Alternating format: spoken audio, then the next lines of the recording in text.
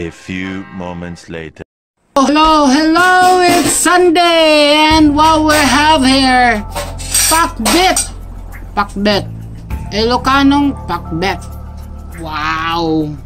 Merong bunga ng ah, bunga ng malunggay, kalabasang polay, ampalayay, okray, talong eggs. Oh, mag-ihaw kayo ng may inihaw na talong. Tapos, may bagoong.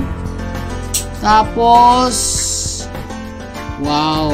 Lutong Ilocanong may kasamang Tagalog dish. Anyway, so yan ang kakainin namin ngayon. Kain na, baby. And, uh, ano pa? Sarap ng pakbet. Tapos, meron kaming homemade na lumpiang sariwa. Ay, naubos na. Ayan o. Lumpiang sariwa na walang sauce at wala pang mani.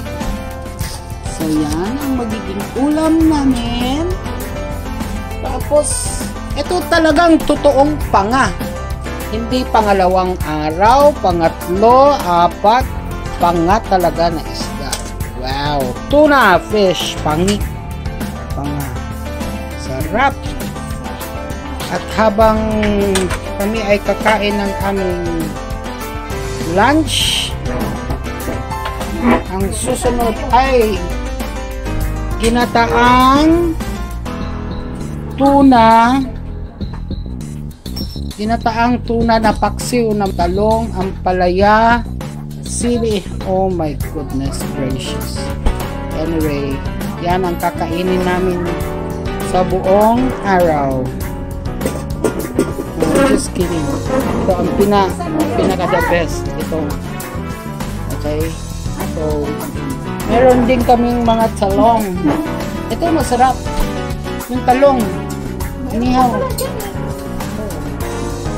Kainan na! Kanya-kanya to. Walang pakialamanan. Luto na? Ah, sausaw sa suka. Wow! Sana nagkamay ka, babe. Sana nagkamay ka.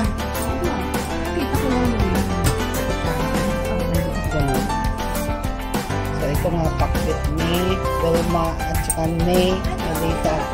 Bye-bye. See you guys later. Kasi, kakainan na naman. Soda, anong inumin natin? Ay, tinapon yung talong. tinapon yung talong. Ay, kasi tinapon mo yung talong eh. Ganun pala yun. Amazing! Sige, isa tayo. Alright, it's Sunday today and we're having a feast. Feast. We have yan. we have puto, we have chicken feet, we have uh, siomai, we have beef, we have pork chop. Wow, sarap naman yan, matchang. Matchang. Ba't walang laman yung pansit mo, babe? Oh, Wilma, oh. Wilma, oh. Marami kami, kaso yung iba nandun sa labas. Nag-drinking, drinking sila doon. Kaya, oh. Ano yung broccoli? Chinese broccoli. So, Lord, thank you for this food which we are about to receive from thy bounty through Christ our Lord. Amen. Salamat po, Lord, sa pagkain lagi, every day. And uh, salamat po na nandito sila. O, Wilma, oh. Shrimp, shrimp. Yan, para... uh, ano masarap? So, anyway, Ami, um, ano, ang tagal na natin hindi nag-order ng ano eh, no? Hindi namin alam na may delivery Papa, ano kami, si Mario ang pumupunta. Ano? Hmm. So anyway, ah nag-crave lang talaga kami ng ano, lalo na ako, nag-crave ako ng chicken feet. Oh my goodness. Yan, pwede na kay Leslie yan. Chicken feet. Mahal kaya sa Pilipinas ito na natin kung naka-manicure, naka-pedicure. Kapilipiro yan. Hmm. Gusto mo, babe? Tama mo na.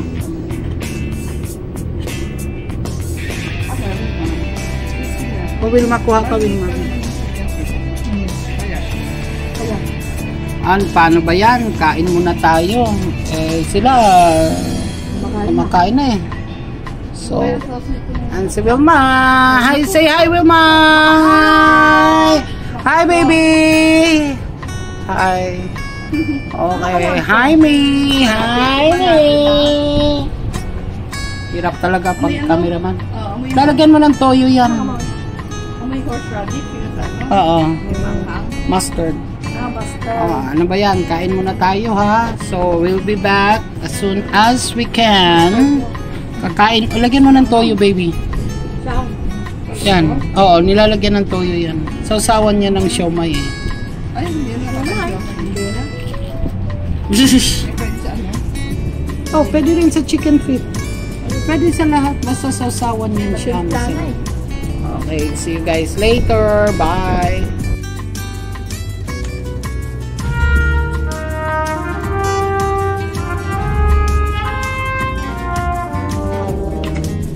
Mo. Dira, kana, sige. Masarap yung isda kaysa sa baboy. Opa. Oh. Walang arthritis. Oo na. Oo. Oo niya. Wala. Oh. Babe, ano pang gusto mo? Atay niit, no? Oh, atay na. Uy, na, umu umubra naman pala yung pausa na kamaatis eh, no? Oo. Siyempre. Talagang uobra. Mayroon pala eh. Eh, sabi niya, sus. Sabi niya, hindi pwedeng sus. Sabi ko, talaga yung kamatis. Pwede, sauce. Tomato sauce? Sauce Maria Josep.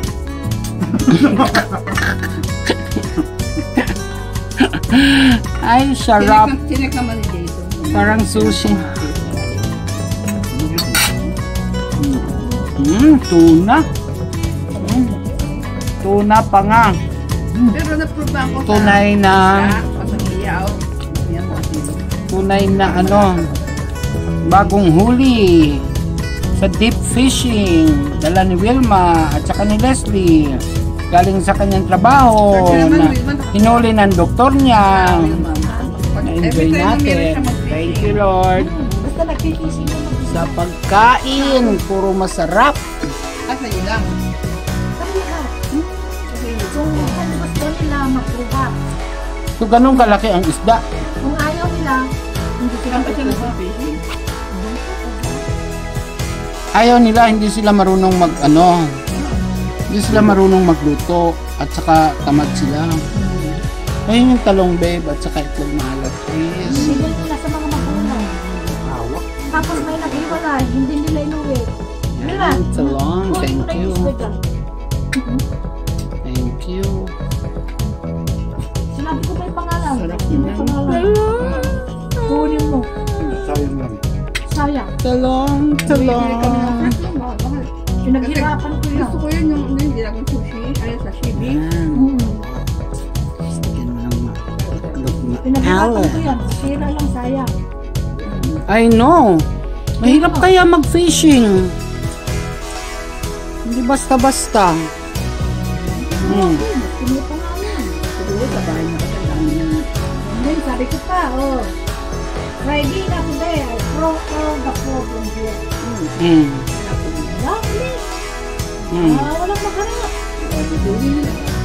Basta yung tapo yan, nandiyan, makahugas. Pinakuhugas ko yan, pinakuhugas ko naman naman yung Tingnan mo. Oh. Pawis na pawis. Punasan mo naman. Nyo. Gustong gusto niya yung kinain niya. Bahay ka malunggay. gulay. Yun naman. Yun naman si ano. Humingi ng malunggay kasi yung anak daw niya parang bagong panganak. Gusto ng sabaw. Ha? papaya. Hindi, malunggay mo babe na ano na na ano, oo, dahon. Ah, hindi. Nakit, inamoy ko eh.